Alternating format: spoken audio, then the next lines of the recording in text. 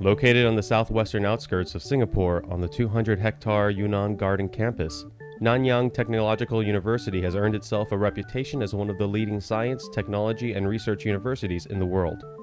The iconic 215,000 square foot School of Art, Design, and Media, ADM, is the island nation's first professional art school, and the refurbished ADM Gallery is a unique, high tech creative space and hosts exciting contemporary art exhibitions by artists from Singapore, Southeast Asia, and beyond. Designed by CPG consultants, the ADM varies from 2 to 5 stories, and the key feature of the building design is the green roof that slopes almost at a 45 degree angle. Formed by two sloping, tapering arcs that interlock with a third, smaller arc, the roof of the ADM was cast in heavy ribbed, reinforced concrete.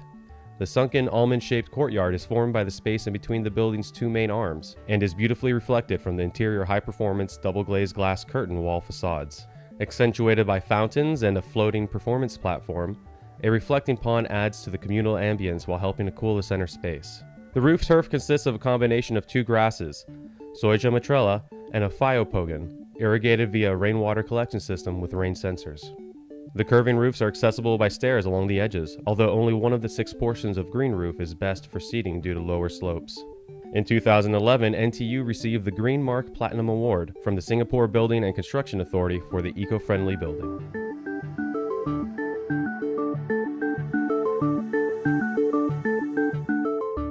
For more information about this project and many more, explore the Green Roofs Project database at greenroofs.com and join our mailing list so you don't miss out on any of the Green Roof news and upcoming projects of the week.